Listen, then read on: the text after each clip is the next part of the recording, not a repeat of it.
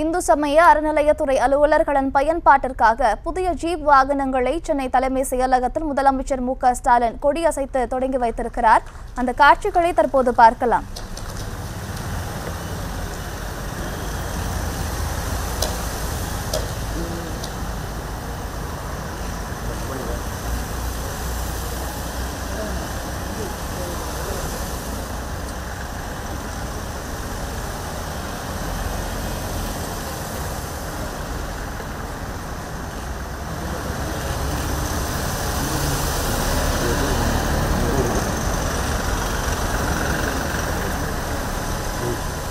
அறநிலையத்துறை துறை அலுவலர்கள் பயன்பாட்டிற்காக புதிய வாகனங்களை தொடங்கி வைத்திருக்கிறார் முதலமைச்சர் மு ஸ்டாலின். கூடுதல் விவரங்களை தரவிருக்கிறார் செய்தியாளர் ராஜேஷ்.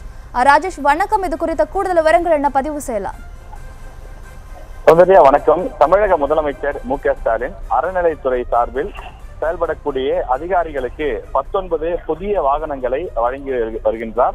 அதை தலைமைச் செயலகத்திலிருந்து கொடியசைத்து துவக்கி வைக்கக்கூடிய அந்த நேரடி காட்சியை நாம் பார்த்துக் கொண்டிருக்கிறோம் உடன் அறநிலையத்துறை அமைச்சர் சேகர் பாபு மற்றும் அறநிலையத்துறை ஆணையர் செயலாளர் உள்ளிட்ட முக்கிய அதிகாரிகளும் இந்த நிகழ்ச்சியிலே பங்கேற்றிருக்கிறார்கள். அதாவது இந்த அறநிலைத்துறை சார்பிலே இன்றைய தினம் இரண்டு நிகழ்ச்சிகள் நடைபெற இருக்கின்றது. ஐம்பத்தி ஆறு கோடியே பதினெட்டு லட்சம் ரூபாய் மதிப்பீட்டிலே பதிமூன்று திருக்கோயில்களில் ராஜகோபுரங்கள் மகா மண்டபம் திருமண மண்டபங்கள் அதே போல அர்ச்சகர் மற்றும் பணியாளர்கள் குடியிருப்பு வணிக வளாகம் மலைப்பாதை சீரமைத்தல் உள்ளிட்ட பல்வேறு விஷயங்களுக்கும் இன்றைய தினம் காணொலி காட்சி வாயிலாக தமிழக முதலமைச்சர் தொடங்கி வைக்க இருக்கின்றார் மேலும் மண்டல இணை ஆணையர் மற்றும் உதவி ஆணையர் அலுவலகங்கள் கட்டுதல் போன்ற பதினாறு புதிய திட்ட பணிகளுக்கான கட்டுமான பணிகளும் இன்றைய தினம் முதலமைச்சர் இன்னும் சற்று நேரத்தில் தொடங்கி வைக்க இருக்கின்றார்.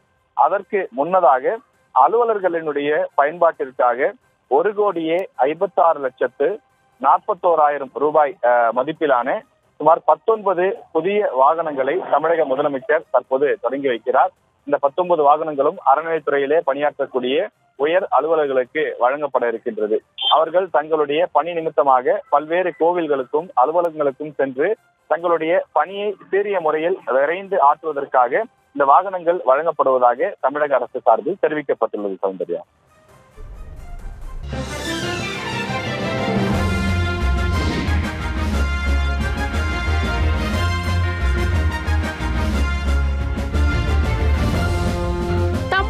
செய்திகளின் புதிய அடையாளமாக. உங்கள் காலை பொழுதின் புதிய அங்கமாக நியூஸ் தமிழ். செய்தி வழங்குவதில் உலகத்தரம் இணைந்திருங்கள். காலை ஆறு மணியிலிருந்தே உங்கள் நியூஸ் தமிழோடு.